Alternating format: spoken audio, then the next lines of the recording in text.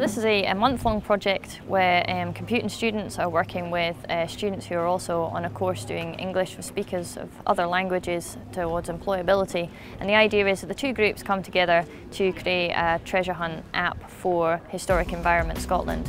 And the whole project is um, put together by Global Treasure Apps, which is a digital company based at the Creative Exchange. So we're here today at Edinburgh Castle. The students will be working in groups and they go around and they collect media um, for their treasure trail which will take uh, students from European countries that come here on educational visits up through the castle and exploring different parts of it and finding out the history of the castle. What we found in recent years is actually working with young people, particularly students, to co-produce content is a really good way to not only enrich their experience but also to widen out the castle offer to different subjects beyond purely just history and social subjects into other areas um, but also so that young people are actually feeling part um, of the production process and are actually creating something that we can then use with other young people.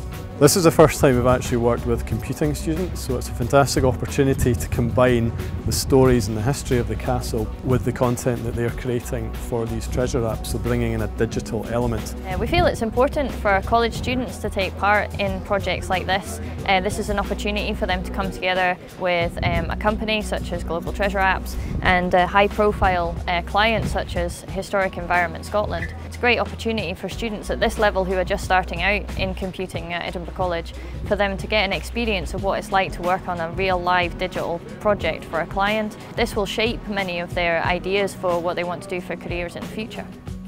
Last um, Wednesday we were at um, Edinburgh Castle and uh, we're doing a, a treasure hunt um, global app. Um, we had to come up with our own hunt. So we chose um, military history.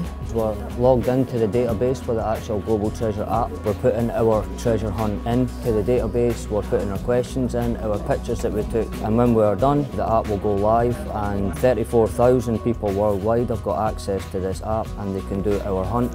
Uh, learn a bit about the castle and hopefully have fun. So it's gone really, really well. We've, we've, uh, we've actually had a lot of fun.